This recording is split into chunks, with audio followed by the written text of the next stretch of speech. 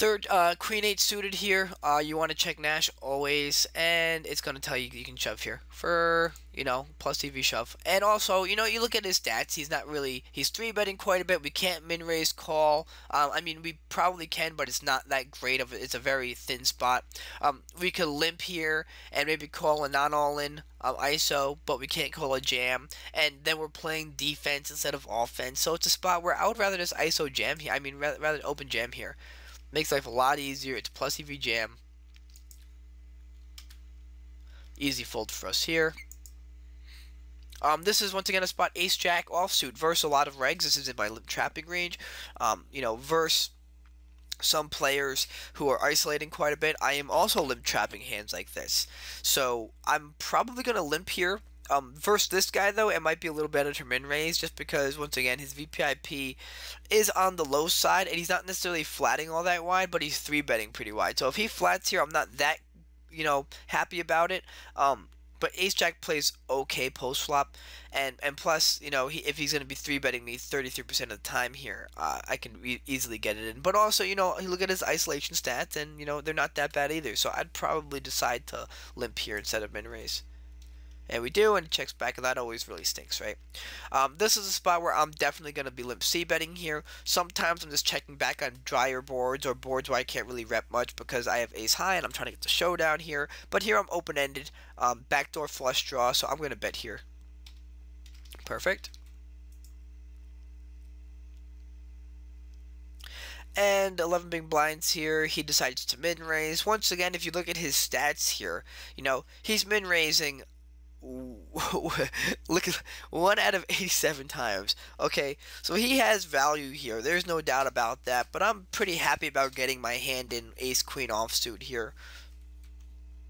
And we jam, and he calls and unfortunately queen 10. So, you know, based and he hits 10 on the river, which is unfortunate. As you see here, you know, his rate his stats suggest that he's never raising, and you'd be like, oh, 1 out of 87, that's probably pocket aces, pocket kings. Not necessarily. In theory, potentially, but as you see, he min raised queen 10. So you don't want to over adjust by maybe hero folding a hand like ace jack or raise 10 because of these stats. You really want to still get it in here um, because of things like this. Recreationals tend to change once in a while. They do some weird stuff once in a blue moon. So you really want to be careful about over adjusting versus a guy like this. Um, and he ends up winning that game, unfortunately. Uh, let's jump into the next game. Alright guys, next game here. Um, and same guy obviously. So let's see, 2-8 offsuit out of position. Um, you know, obviously we're going to be folding here to a min raise. Checking back to a limp. Pocket tens here. Uh, once again, he's flatting very wide. He's 3-betting quite a bit. Yes, he is isolating, but based off my HUD stats, I think that, you know, min raising is going to be slightly better here. Perfect.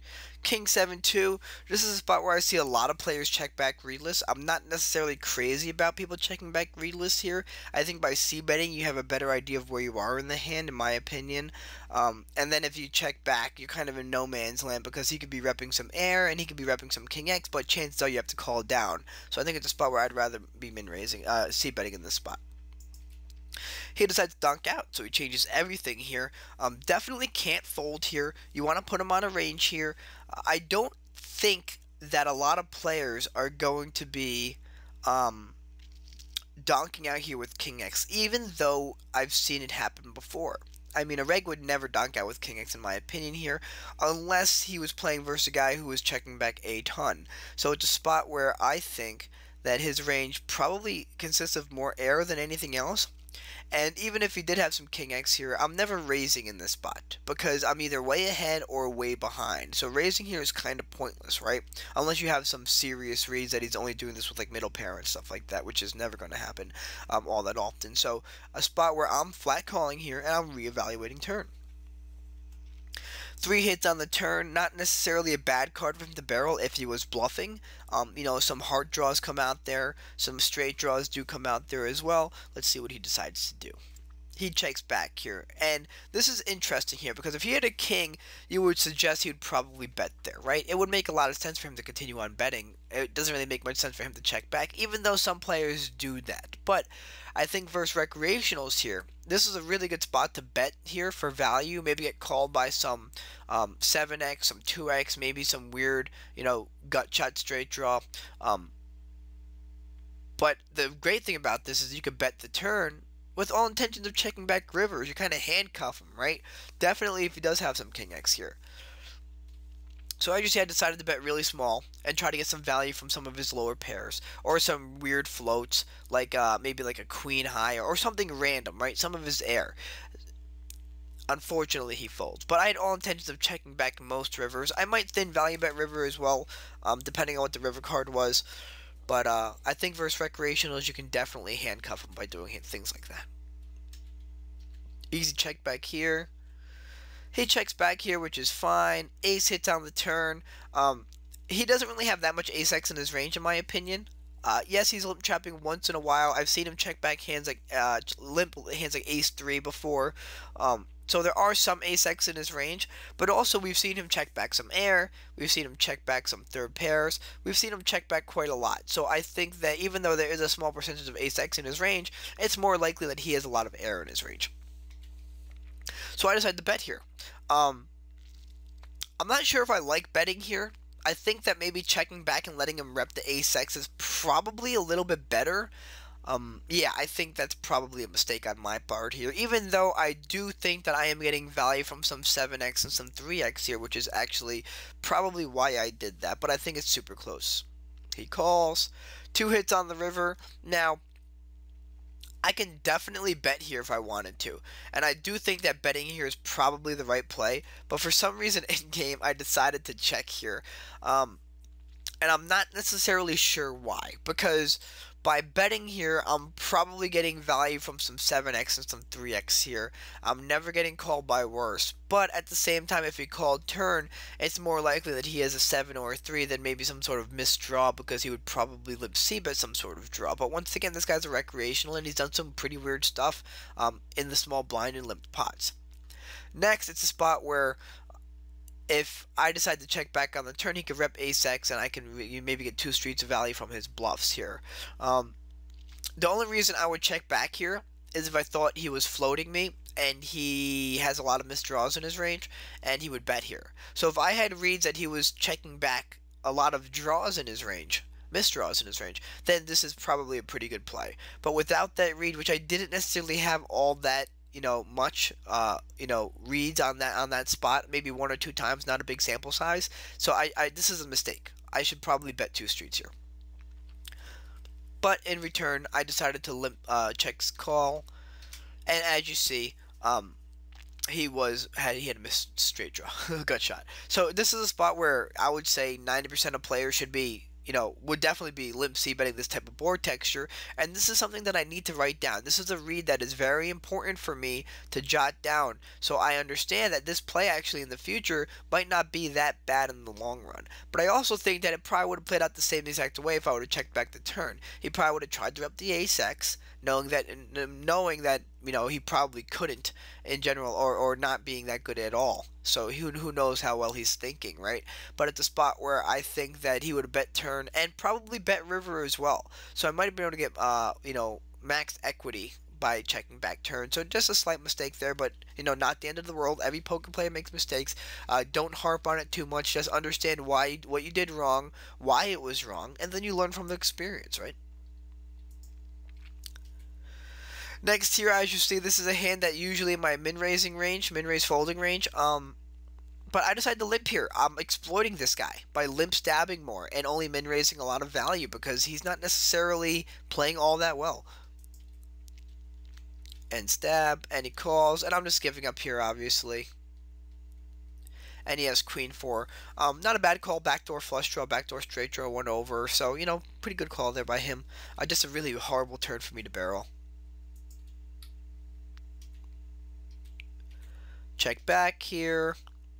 Helium C bets. Um, I could, yeah, this is probably a good fold there. Yeah, I mean, backdoor flush draw, you can get carried away with stuff like that, but it's a spot where he's, you know, betting turns when he bets flops, so I'm not going to be able to realize my equity all that easily. Once again, exploiting this guy, right? Min raising, because he's not really getting the hint that I'm only min raising with value. So, versus these kind of recreationals, you don't want to get out of control and just assume that they all know what they're doing and that they're all pros, right? You want to think that way versus regs, not recs. So, it's a spot where I'm exploiting this guy. And, and, you know, based off the HUD that you guys might have, the coffee HUD, or just from paying attention, you might be able to realize that you can exploit these type of players. And sometimes I have you know, people asking me, well, you know, should should I just wait for a hand to, to beat a guy and, you know, to beat a recreational? And I think, you know, that's kind of a very dull way of, of, of you know, approaching things. I think that if you can pay attention to the game and realize spots where you can exploit your opponent, recreationals, you know, or regs, you know, it goes a long way. So you don't always have to be balanced, but you can definitely, you know, get better and realize how you can exploit a player. And at the end of the day, that's probably the best tool you can have in your arsenal. Any jams here.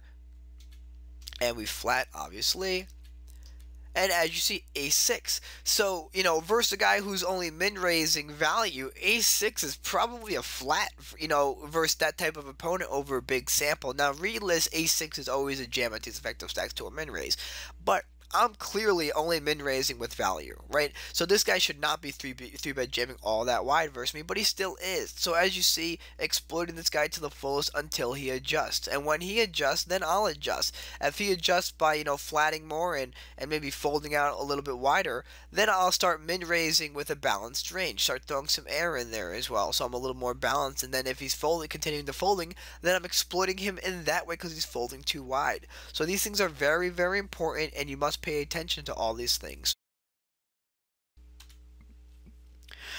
Alright, so first of all, we're going to be talking about the great deals on coaching. And everything I see around town is, you know, an hour for this much for an hour session here and there. But why does it have to be a full hour, right? Sometimes you have a problem with a reg that won't leave you alone. Um, sometimes you have a problem with just plugging a leak or just understanding a concept or anything that has to do with poker that doesn't necessarily take an hour. Um, sometimes it takes in half an hour. Sometimes it takes 45 minutes. So what I did was I broke it up here for the guys who don't really want to spend all that money on a full hour, but just have a few questions. Just have a guy that want to go real quick to kind of figure out what he's doing against me. Is he exploiting you? Um, are there ways you could exploit him? Uh, those things go a long way. So as you see here, my rates per hour, uh, $70 an hour. That's the original pricing. Um, obviously, you save, save some money when you do package deals. Uh, next is going to be 45 minutes uh, for 50 uh, $50, which is going to be, you know, a percentage of the, the hourly. And then last but not least, for half the time, half the money. And I do think that really goes a long way. So, you know, for the guy who can't really afford the full hour but can afford half an hour, you know, and you have this guy who's completely, you know, ruining your grind by sitting you all the time, this is perfect for you guys. So I uh, just wanted to help you guys out and um, hope this helps quite a bit. Next, we're going to be talking about the package deal, which I talked about before. And my hourly is $70 per hour, but if you buy packages, you obviously save some money on the back end. Now, the problem is with poker, you know, a lot of the time you need to have a lot of the money up front because it's one of those situations where it's just, you know, over the internet, a lot of weird things do happen once in a while, and, and it's hard to trust people sometimes. But it's a situation where I'm willing to trust you guys a little bit more here. And I'm willing to give you guys a payment plan when talking about these package deals, right? Usually breaking up to three different payments, um, sometimes four.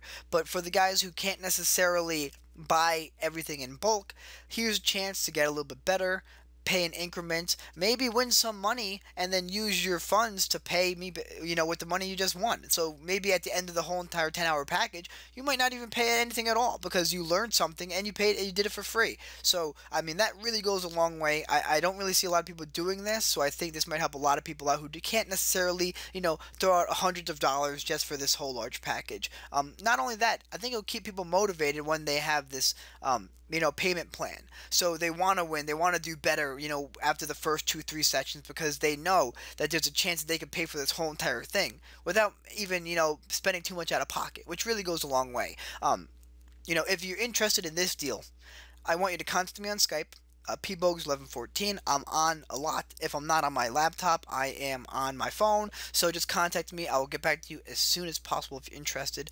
Um, and yeah, that's about it. So why don't we move on to the next promotion? Next, we're going to be talking about ways to win free coaching. And as I told you before, social media is going to be my new best friend. So if you want, follow me on Snapchat. For all you guys who don't know what Snapchat is, it's basically you take a 10 minute video or like a 3 second picture um, and then you just send it to your friends, uh, you know, back and forth, something like that. What I'll do with that is I'll have you guys potentially, you know, send me a picture of you guys grinding and the 20th person to send me a picture of them grinding you know, gets free coaching, um, something like that, or you know, some sort of weekend thing. Uh, whoever is doing the most exciting thing on the weekend, you know, send me a Snapchat and you get free coaching. Like really fun things like that, it, and it can really make these things interesting, um, and doesn't really make you guys think too much or, or work too hard for it because it could be just you know a wild weekend, which is you know always a lot of fun. Next, to talk about Twitter. Um, a lot of you guys already follow me on Twitter um, from my last video here, but the reason I'm putting Twitter up again is because sometimes I'm going to make it complicated for you guys to just, you know, download one thing. Sometimes I'm going to put stuff on Twitter about Snapchat. And sometimes I'm going to be putting things on Instagram about Twitter. And then, you know, uh, vice versa, back and forth. So you really need to follow me on all three things to, you know, be able to obtain the most amount of free coaching. And I'm going to be giving away a lot of free coaching. I really am. This is the time for you guys to kind of, you know, dig in here because um, I have motivation to kind of get my name out there and I'm giving away a bunch of free stuff to do so, right? So, you know, Snapchat, Twitter, Instagram, pbogz1114 on Twitter and Instagram, uh, just regular pbogz on Snapchat. So, it's going to be fun. Um, you know, once a lot of people start, you know, following me and getting really into this, I'll give away a free 10 hour package as well. Um, and that will be really cool. So, uh, yeah, I hope you guys enjoyed the video. I hope you guys enjoyed the advertisement. Um, you know, let's get this ball rolling. The more guys that join, the more stuff I'm going to be giving away. So let's get this show on the road here. Snapchat, Instagram, Twitter, and I uh, hope you guys enjoyed the video. Talk to you later, and uh, good luck grinding, boys.